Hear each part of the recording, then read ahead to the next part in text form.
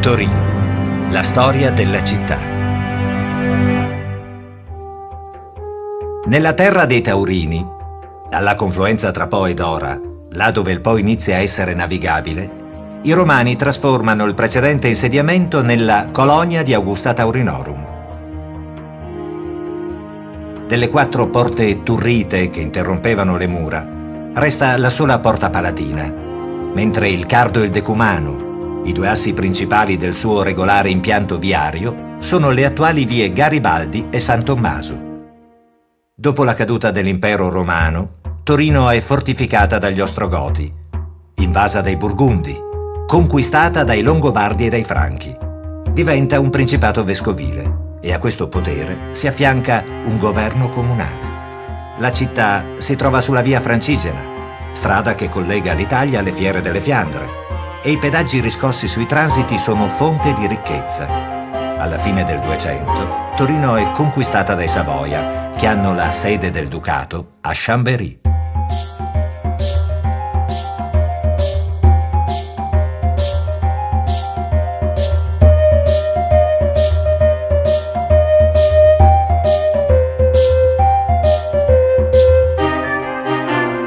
Nel 1563 Emanuele Filiberto, detto Testa di Ferro, trasferisce la capitale del ducato da Chambéry a Torino. La città diviene il centro del sistema di fortificazioni del ducato e, dal lato della strada di Francia, viene costruita la cittadella. Con Carlo Emanuele il Grande, la potenza del nuovo Stato assoluto e il ruolo che esso rivendica si esprime in forma ancor più visibile in un piano urbanistico dove strategia militare e architettura civile si integrano in una città vasta e ordinata. Torino si amplia al di fuori delle antiche mura. La scenografia del potere è progettata con cura. Nasce la città del principe. Architetti come Ascanio Vitozzi, Carlo Amedeo di Castellamonte, Guarino Guarini sono incaricati di progettare nuove vie e piazze e in poco meno di cent'anni Torino riceve l'impronta che ancora oggi si può ritrovare nell'armonico insieme delle sue architetture. I Savoia partecipano alla guerra di successione franco-spagnola e nel 1706 Torino resiste a 117 giorni di assedio francese. Con la pace di Utrecht nel 1713, Vittorio Amedeo II ottiene il titolo di re di Sicilia, mutato poi nel 1720 in quello di re di Sardegna. Per ridisegnare la capitale del regno, il re chiama a Torino l'architetto siciliano Filippo Iovarra. Si costruisce la Basilica di Superga, sorgono i quartieri militari di Valdocco, i nuovi borghi fuori delle mura e dai progetti di Benedetto Alfieri il Teatro Regio e il Teatro Carignano.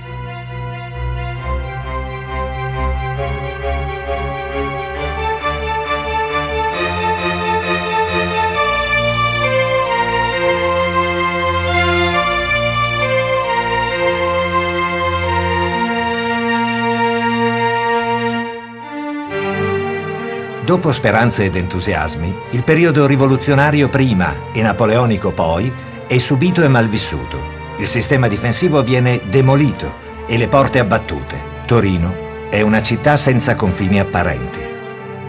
Ma intanto, fra la fine del Settecento e i primi dell'Ottocento, cresce a Torino una nuova cultura scientifica e tecnologica. L'industria conosce i suoi primi sviluppi e del 1837 l'avvio della compagnia di illuminazione a gas per la città di Torino. In seguito, Società Italiana per il Gas, prima impresa del regno e fra le prime in Europa a produrre e distribuire gas illuminante. Il 4 marzo 1848 Carlo Alberto firma lo Statuto Albertino. L'anno seguente iniziano le guerre d'indipendenza. Durante i trent'anni di regno di Vittorio Emanuele II, il Regno di Sardegna promuove il processo di unificazione italiana, grazie anche alla lungimiranza politica, alla grande capacità diplomatica, alla cultura economica e istituzionale del conte Camillo Benso di Cavour. Torino è la prima capitale d'Italia e a Palazzo Carignano il 18 febbraio 1861 si tiene la prima riunione del Parlamento italiano. Le strutture produttive ed economiche si ammodernano, ma con i primi passi dello sviluppo industriale aumentano le diseguaglianze sociali e all'opera delle prime società di mutuo soccorso e delle tradizionali opere pie si affiancano le diverse istituzioni religiose. Torino si ingrandisce nuovamente, si realizzano le stazioni di arrivo delle ferrovie da Novara e da Genova, si inizia a costruire la mole antonelliana, si completa Piazza Vittorio. Nel 1865, con il trasferimento della capitale a Firenze, Torino perde popolazione e attività, ma il tessuto imprenditoriale reagisce e alle tradizionali manifatture si affianca un nucleo di imprese meccaniche e metallurgiche, mentre nelle barriere di periferia nasce una classe operaia che si specializza e si organizza.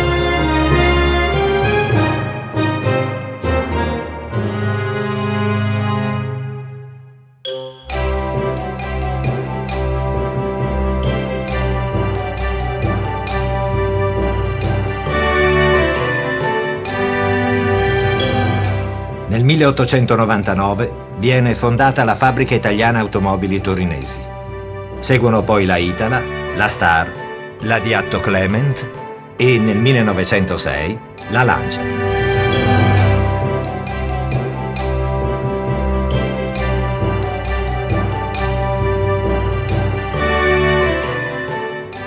Sul finire del XIX secolo, l'avvento dell'energia elettrica trasforma la produzione e anche la vita quotidiana in città. L'Italgas cambia la propria offerta e avvia la distribuzione di gas manifatturato per la cottura dei cibi e il riscaldamento. Ma Torino non è solo industria. Nel febbraio del 1896 apre in via Po la prima sala cinematografica e nel 1904 nasce la Ambrosio Film, prima casa italiana di produzione cinematografica. Si diffondono gli atelier di moda, si sviluppa l'uso della pubblicità e trionfano le esposizioni universali.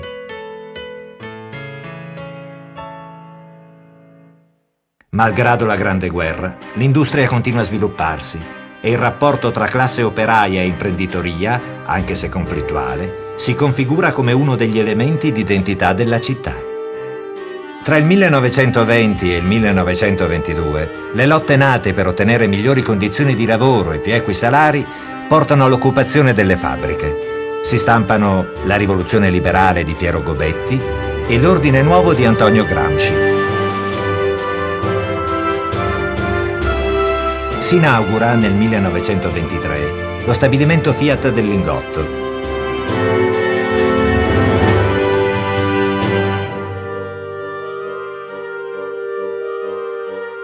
La Torino di quegli anni si trasforma e si definisce. Nasce la nuova via Roma e si costruiscono o si modificano interi isolati. Nel 1938 apre i suoi cancelli il nuovo stabilimento Fiat di Mirafiori.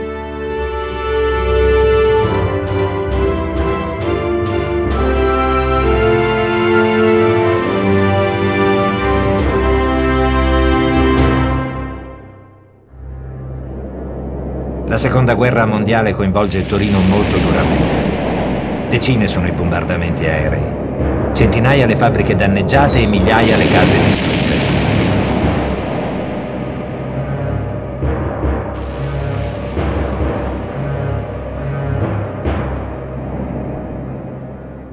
I lunghi e difficili mesi della Resistenza portano alla festa d'aprile. Le formazioni partigiane liberano la città.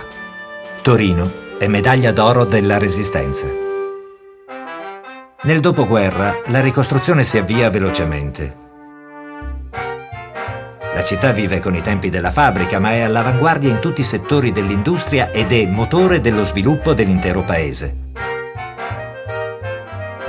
Le grandi immigrazioni del sud dell'Italia e la produzione di massa, non soltanto automobilistica, segnano lo sviluppo di una città-fabbrica che a sua volta assume le caratteristiche di un laboratorio del conflitto sociale. La civiltà contadina si scontra con quella urbana.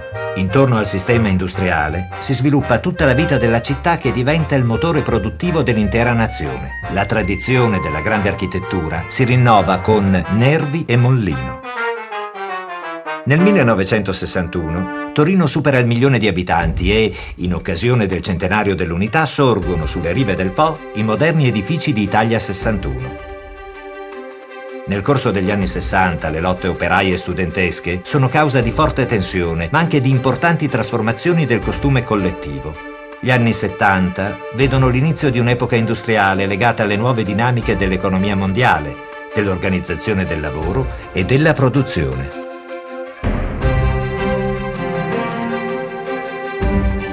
Negli anni Ottanta si abbatte su Torino la crisi del sistema industriale. Lo stabilimento del Lingotto, inaugurato nel 1923, chiude nel 1982.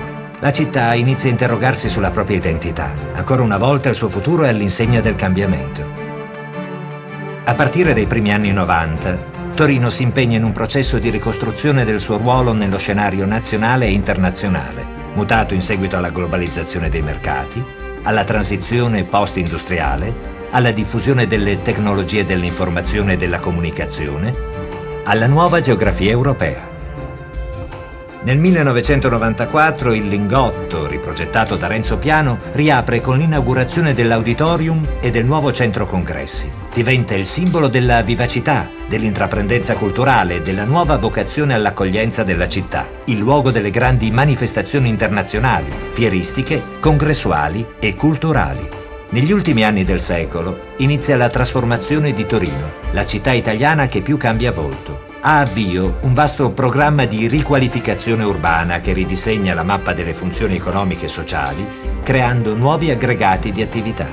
Oggi Torino ha perso il monocromatismo che l'aveva caratterizzata nel corso del Novecento, per sviluppare una base differenziata di ruoli e di funzioni. Resta città dell'auto, perché si conferma depositaria della cultura tecnologica della mobilità e delle capacità di formazione e innovazione. Ma ha assunto nel contempo un più attraente aspetto multiforme, grazie alla progressiva convergenza di un'industria che non è solo manifattura e di un sistema dei servizi che si sviluppa dall'originario ceppo industriale. Si orienta alla promozione di un nuovo capitale umano più ricco e diversificato, che trova alimento in una società locale dove si moltiplica l'offerta culturale e sono in miglioramento gli indici della qualità della vita. Le Olimpiadi invernali di Torino 2006 hanno rivelato al mondo una città inaspettata, non solo a chi non sapeva collocarla sulla carta geografica, ma anche a quanti già la conoscevano. Il successo ottenuto è stato un primo importante traguardo del profondo processo di trasformazione intrapreso. Grazie al rilancio e alla valorizzazione del patrimonio storico e artistico anche in chiave di promozione della città, Torino diventa a pieno titolo città di turismo, sommando all'offerta culturale la sua tradizionale capacità organizzativa e di accoglienza. A conferma del nuovo posizionamento all'interno del circuito turistico internazionale, nel 2008 Torino conquista le tre stelle Michelin, entrando così, come località da non perdere, nella speciale classifica della Guida Verde del Turismo dedicata all'Italia del Nord e pubblicata in tutto il mondo. Tutto questo è il presente.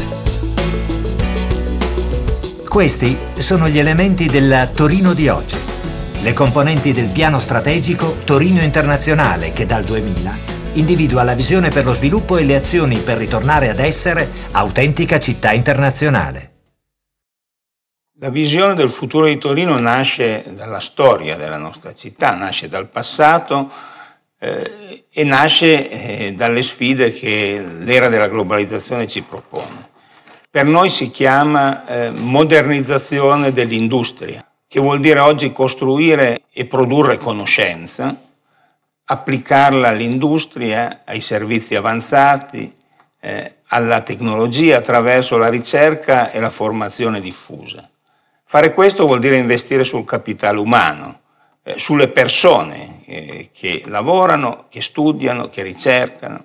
E per far questo ci vuole una città aperta, cioè una città che materialmente sia collegata con le grandi reti nazionali e internazionali, ma anche con le grandi reti immateriali, le reti delle università, le reti della conoscenza. Eh, vuol dire una città eh, che non abbia paura delle grandi sfide poste dai flussi migratori, dalle grandi sfide della multiculturalità e della multireligiosità. Vuol dire una città dove si viva bene, eh, una città con risorse culturali ampie, differenziate, accessibili, con una qualità ambientale elevata, con una qualità della vita e con una coesione sociale eh, elevate. Oggi eh, società coese, eh, società in cui ci sia spirito e orgoglio di appartenenza, sono società più forti. Tutte queste carte Torino le vuole giocare in un contesto territoriale più ampio, forti anche di quello che Torino ha già saputo fare. Eh, le Olimpiadi del 2006 sono stati un momento alto per Torino ma anche per l'Italia, eh, di capacità organizzativa, di capacità di mostrare al mondo quello che vale e quello che sa fare l'Italia.